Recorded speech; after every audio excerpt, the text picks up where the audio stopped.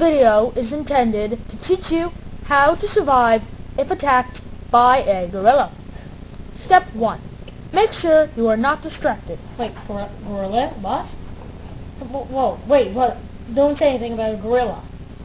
Wait, hot what? You should have read the fine print. Hey, I signed up to taste free ice cream. Oh my god, a gorilla. Hi, ladies. How's it going? Looking good.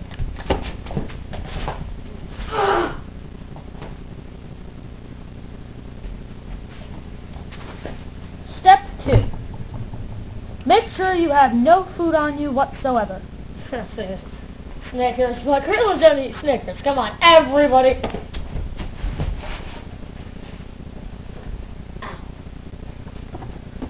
Step 3.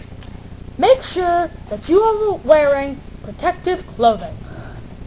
Yeah, jeans, a shirt. That's pretty protective. I mean, you can't get... Ah, ah, ah, ah! Step 4. Make sure it is a, a male gorilla because a female gorilla, that would be not cool to hit because that would be very rude and illegal. The male!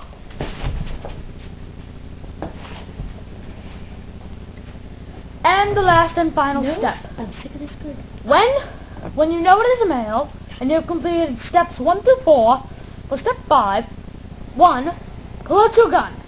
2, aim, and then shoot the gorilla in the head. Ooh.